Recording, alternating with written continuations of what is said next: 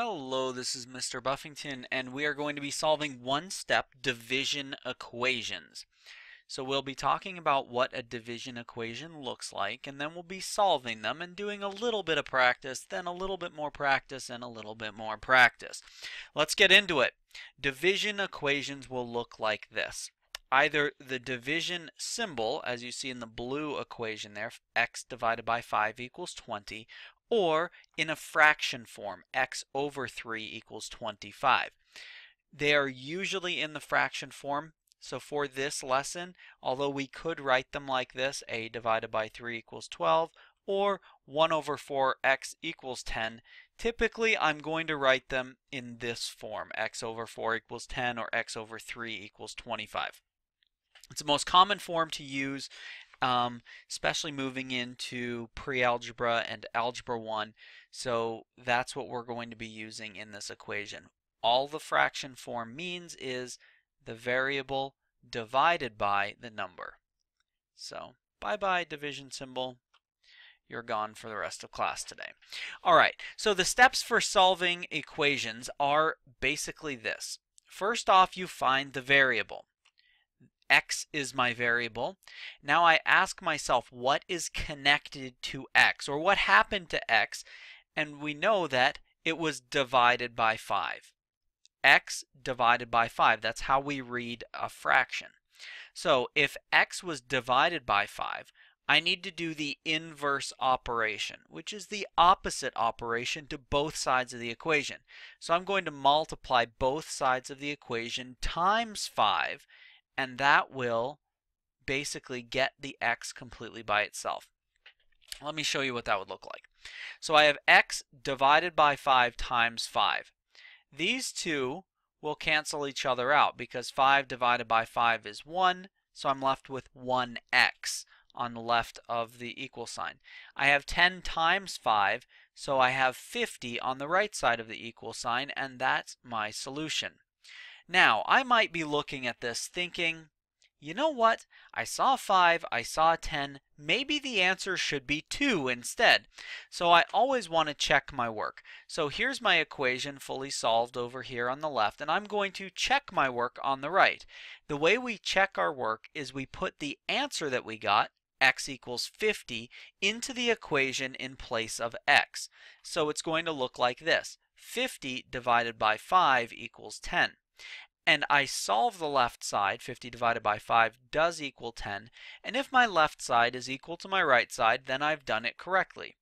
If I accidentally just looked at these two numbers and immediately said 2, then I would have 2 divided by 5, and 2 divided by 5 does not give me 10, and I would know that when I got to the end. So it's an important step to check your work, especially when you're not entirely sure that it's correct. But even when you are completely confident that it's correct, it's sometimes good to check because you realize that you really did make a mistake. All right. So let's do some practice. Go ahead and pause the recording, solve this one on your own. n divided by 15 is equal to negative 5. Hi, welcome back. I hope you paused the recording. I hope you really did that. All right, let's take a look. So I look, where's my variable? n. What happened to my variable? It was divided by 15. So I'm going to multiply both sides times 15. n divided by 15 times 15. 15 divided by 15 leaves me with 1. 1n on the left side of this equation. And negative 5 times 15 gives me negative 75. Now I'm going to check my work in the space I have left over here. So I'm going to put the number negative 75 into this equation, negative 75 divided by 15, and see if I get negative 5 for an answer.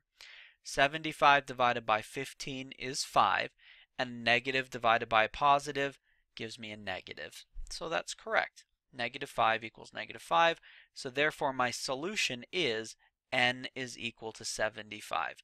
One um, mistake I've seen some students make is after you do the check, you've done, oh, I did all this extra work, and so you write down the number that you've solved for. Like I write down, oh, negative 5.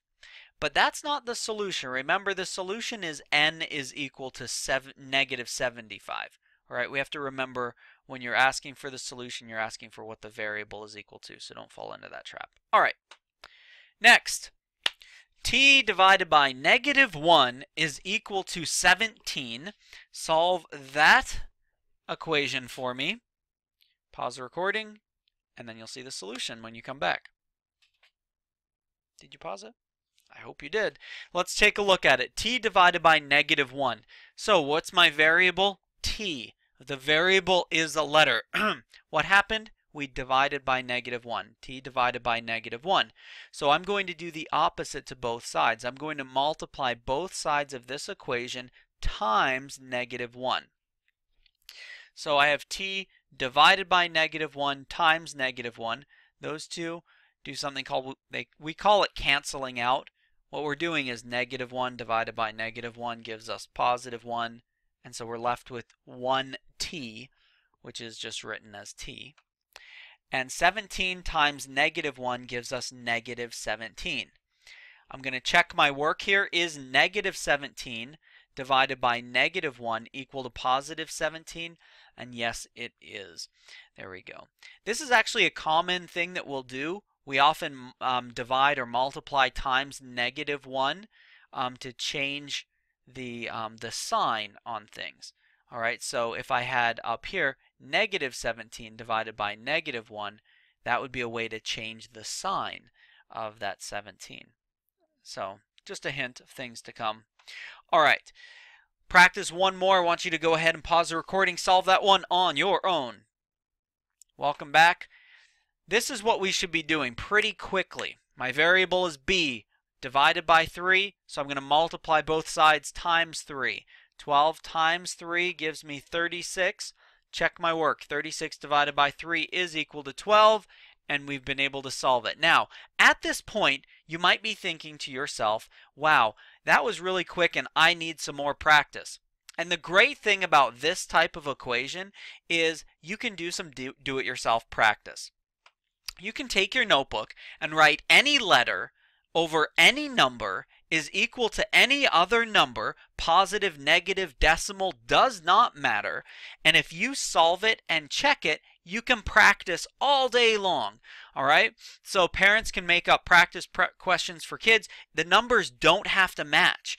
Um, it doesn't matter what they are because you're basically just multiplying the two numbers together. All right? So that's just a quick little tip. You can do it yourself practice, create all the practice that you'd ever want, and become really proficient at this. A Couple of tricks um, and tips for success. Don't skip the steps. Make sure to follow them carefully, and then you'll get to the point where you feel like you can skip the steps, and at that point, don't skip the steps um, because you need to practice, practice, and practice, and then you'll get it. All right, hope that lesson was helpful for you. Have a wonderful day.